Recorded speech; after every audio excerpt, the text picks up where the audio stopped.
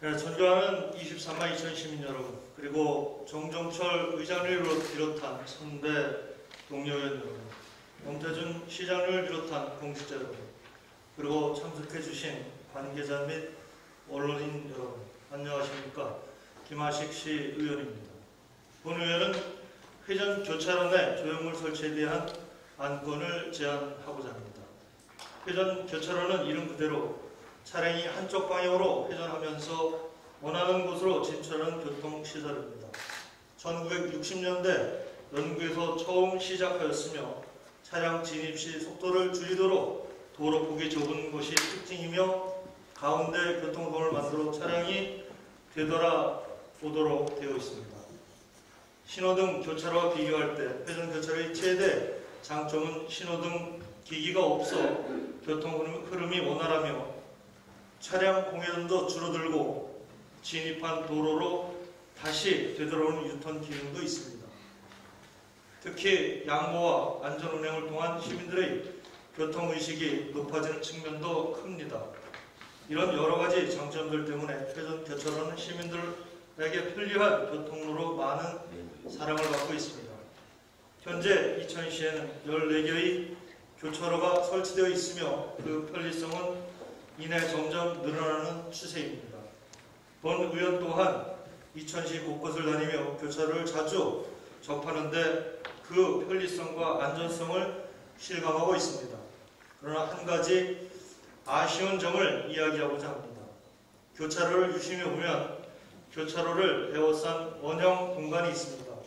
보통 교통섬이라고 부르는데 그 빈 공간을 어떻게 활용하면 좋을까 많은 생각을 해 보았습니다. 물론 교차로의 가장 중요한 기능은 차량의 안전한 통행이며 원활한 교통 흐름이라고 할 수 있습니다. 본 의원은 이런 안전성과 교통 흐름을 방해하지 않으면서 회전 교차로의 기능을 한 가지 더 확보할 수 있는 제안을 드리고자 합니다. 교통섬이라는 원형 공간에 조형물을 설치하는 것입니다. 요즘은 도시마다 공간을 아름답게 꾸미는 일들이 많이 추진되고 있습니다. 시민들에게 정서적인 안정감을 주는 예술 문화 서비스는 지역사회를 더욱 정감 있는 곳으로 만들어줍니다. 이천은 매년 국제조각 심포 지움이라는 문화 행사를 추진해 오고 있었습니다. 국내외 저명한 작가들이 참가하여 우수 작품들을 출품해 와서 이천시는 훌륭한 조각 작품을 많이 보유하고 있는 자치단체가 아닐까 생각됩니다. 그러나 행사하고 남겨진 작품들을 적절한 공간에 배치하는 것에도 한계가 있어 작품 관리에 어려움이 있는 것으로 알고 있습니다.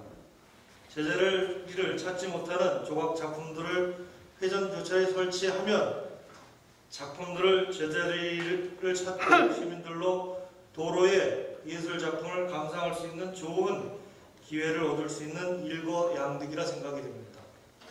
이에 회전 교차로 내 조형물 설치에 관한 법적인 기준들을 확인해 보았습니다.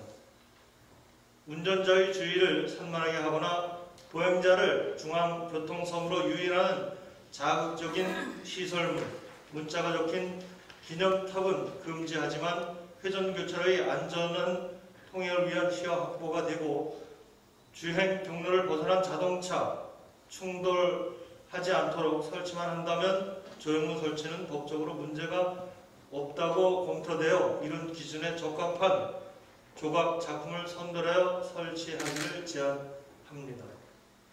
그 도시를 알고 싶으면 거주하는 시민들의 문화 마인드를 보라는 얘기가 있습니다.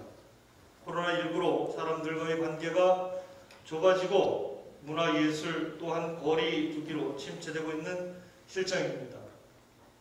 이런 점을 고려할 때 회전교차로의 교통섬에 예술 작품 설치하는 것은 운전자에게 심히 안전과 문화 욕구를 충족시켜줄 수 있는 좋은 사례가 될 것으로 판단됩니다.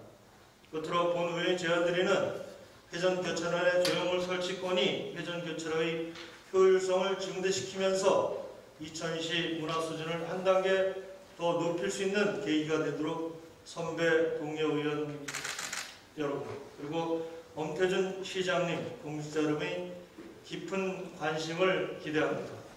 감사합니다.